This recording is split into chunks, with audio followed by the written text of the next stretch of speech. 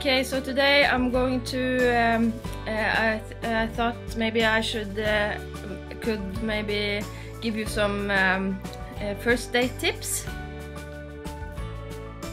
But, uh, the first one is um, uh, do don't uh, overdress.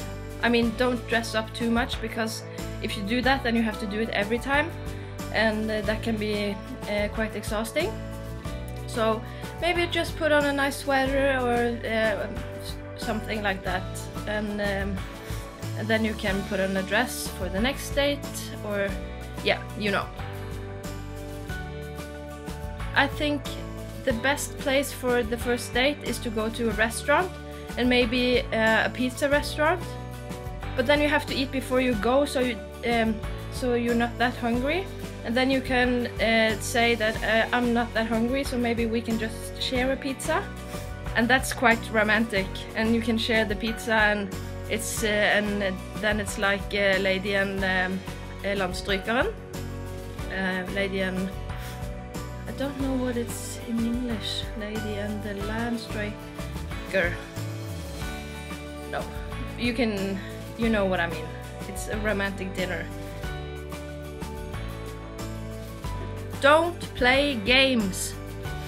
You, uh, if you want to uh, text um, him or her afterwards, I think you should just do it.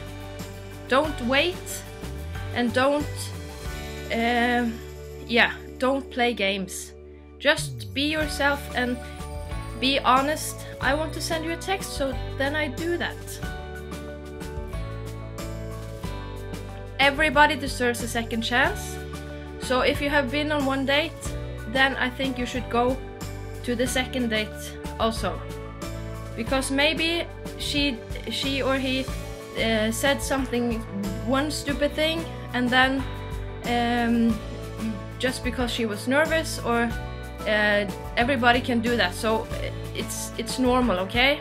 So I think everybody should uh, give the other one a second chance because you might get nervous and say say something stupid and and that's okay. So okay. Good luck everybody. Um, that's all for today. Thank you, and please uh, like and comment the video and subscribe. Okay, thank you, bye!